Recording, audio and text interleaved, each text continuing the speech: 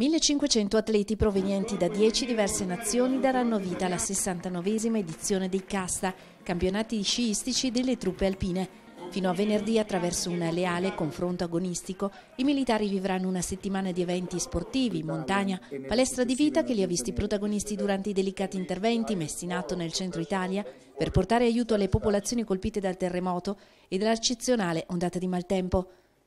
Il centro Italia è stato una, un ottimo momento eh, per dimostrare supporto a queste popolazioni che hanno molto sofferto, a cui va il nostro, il nostro altruismo, la nostra vicinanza, è veramente stato un, un grande privilegio poter fare qualcosa per alleviare le loro sofferenze, però è stato anche un momento eh, di, di, sforzo sistemico, di sforzo interforze con i vari ministeri e di coesione tra le varie forze armate, proiettando capacità che sono di ricostruzione, eh, di soccorso, di salvataggio, di intervento, capacità che sono proprie e uniche delle forze armate. Sono molto orgoglioso delle, delle nostre donne, dei nostri uomini e c'è stato un, un commento che è stato fatto da alti vertici americani che è stato sull'etica dei nostri militari. Eh, sicuramente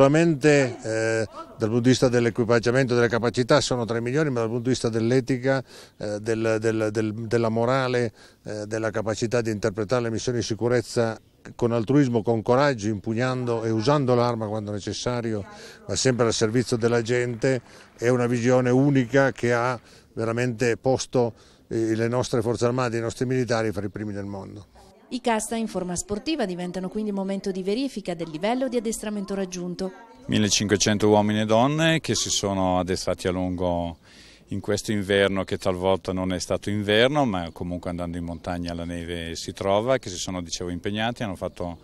un grande addestramento e adesso siamo alla prova del 10 per dimostrare quello che sono capaci di fare. Ad accompagnare il capitano della nazionale paralimpica di ice hockey Gianluca Cavaliere nell'accensione del tripode posto in piazza del magistrato San Candido è stata Karin Oberhofen, fortissima atleta di biathlon del centro sportivo Esercito, per qualche tempo lontana dalle gare, essendo in dolce attesa. Mi mancano tante le gare, ma questo è un momento per me un po' diverso, lo affronto giorno per giorno, oggi ho già sciato, adesso posso fare qua questa cerimonia e anche questi sono momenti bellissimi. Giorno per giorno è una nuova sfida, è una nuova avventura, vorrei tornare a gareggiare, spero che tutto andrà liscio, ci vuole tanta fortuna, lo so, ma ci proverò.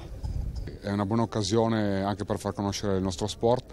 è una bella manifestazione questa e speriamo che tanto pubblico che ci sia qua venga poi a vedere la nostra partita. Gli atleti che si confronteranno nelle diverse discipline e competizioni vedranno la presenza anche di alcuni rappresentanti dell'ANA. Ormai da qualche anno non solo siamo presenti ecco, per dare diciamo così, un supporto come associazione, ma siamo presenti anche concretamente in quasi tutte le gare. Speriamo anche fra qualche anno di esserci con i plotoni perché noi siamo convinti che i nostri alpini in congedo sono ancora capaci di mostrare le loro grandi capacità.